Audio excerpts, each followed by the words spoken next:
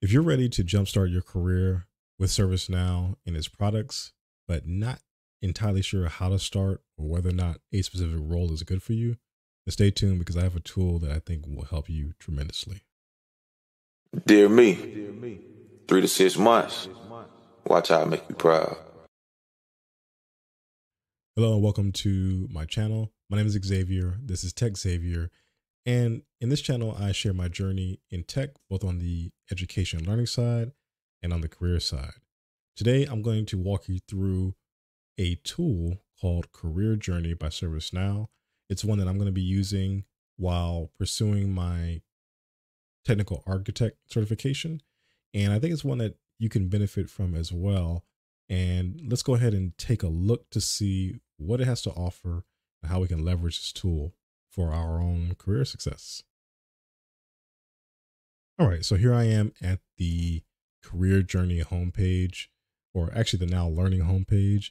If you're not familiar with Now Learning, I do have another video which I'll link at the top so that you can learn more about just this site that ServiceNow offers. It's great if you want to learn new materials. And once you create your account with Now Learning, you should arrive at a page similar to this. And we're just going to focus right on the top. At the time of this recording, they have the career journey information right at the top of the page. And you can go through this information depending on which career path you want to choose. So to start off, make sure that you have career journey selected. And then you have arrows to left and right. And it starts out with system administrator. This is probably one of the more popular certifications to get and roles to assume, especially if you're new to the platform. You also have application developer. So if you like creating applications, either with extensive code or low code, you can go through this route here. And then you have implementer. So this is the person who's responsible for getting a new product deployed into the environment for the first time. So a lot of organizations use things like ITSM, and that's IT service management. And that's a really popular one for things like taking tickets and fulfilling requests in a very general way. Then you have things like customer service management, you have HR service delivery, you have security operations. There's so many different things to implement. And this is the career journey that you would take for that. Then you have business process analyst.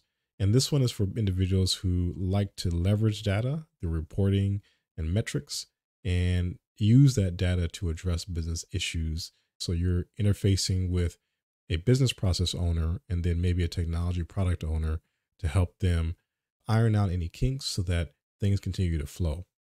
And the next one is a technical project manager. So you're probably the person who once something is deployed and new releases need to come through, you're helping to keep everybody on track. You're updating a RACI chart, you're updating maybe the project portfolio management component of things, and you're keeping everything rolling. You're on top of it and you're communicating the progress to the sponsors, and maybe other stakeholders. Now, for this video, I'm going to focus on the system administrator career journey because, again, it is probably one of the more popular ones. But feel free on your own time to go through all the other career journeys. You'll see a similar setup. So I'm going to go and click on View Journey. And here it brings me to this page. And let's just read it together. So it says System Administrator Career Journey. And as you can see right here, says the system administrators are highly organized technical experts who manage the ServiceNow platform for their companies. This career journey is a collection of courses, credentials, and activities organized by job level that will help you prepare for a system administrator role in the ServiceNow ecosystem. So there is a video on daily life of the system administrator that is also part of the curriculum, which we'll look at.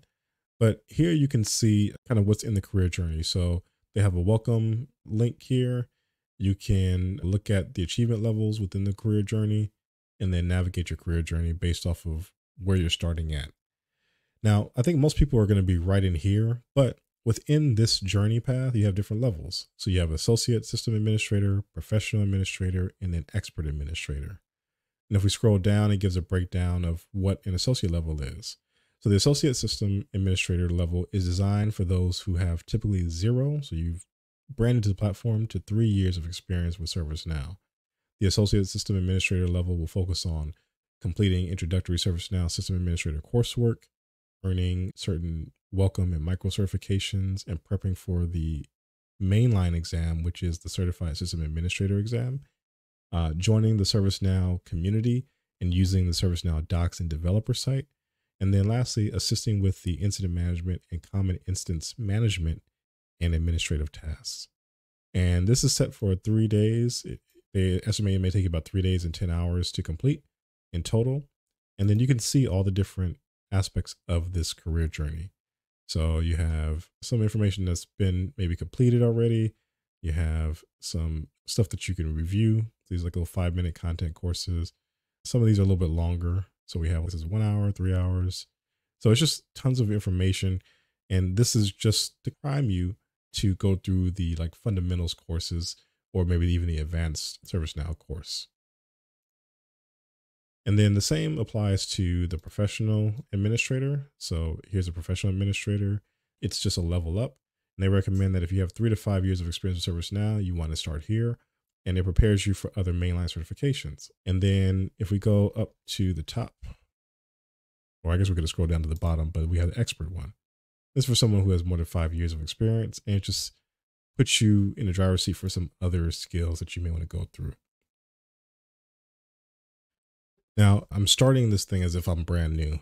And the reason it is because I got my certification almost a year ago to date, and I've forgotten more than I retained, to be completely frank. Going for my certification, also going for my degree, and then also trying to balance work and personal life. I didn't give myself as much practice as I would have liked to to really feel competent as an administrator.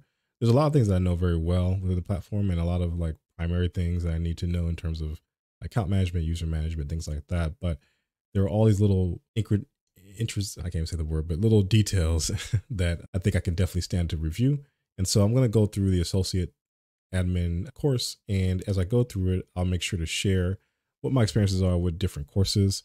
You'll probably see a couple videos go out a day. So I'll probably start with these three to start and just tell you, hey, these are some of the benefits you can gain from taking these courses. Some of this is content, some of them are videos, some of them are activities. So it just really depends on where you're at. But I think this is a great start for anyone who is new to the platform in general.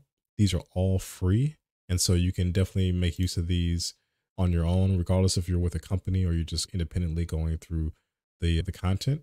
And then once you you finish this, then you'll be in the position to go through the more advanced or intermediate version of the ServiceNow administrative courses and then prep yourself to pay for the course and then also pay for and pass the exam. So I think this is a really good way to get exposure to this career field. All right, so that about does it for this video. Try to keep it short and sweet. Thank you for checking this out. Let me know if you have any questions or maybe you're working in the career journey space and you want to share your experience with it, leave that down in the comment below.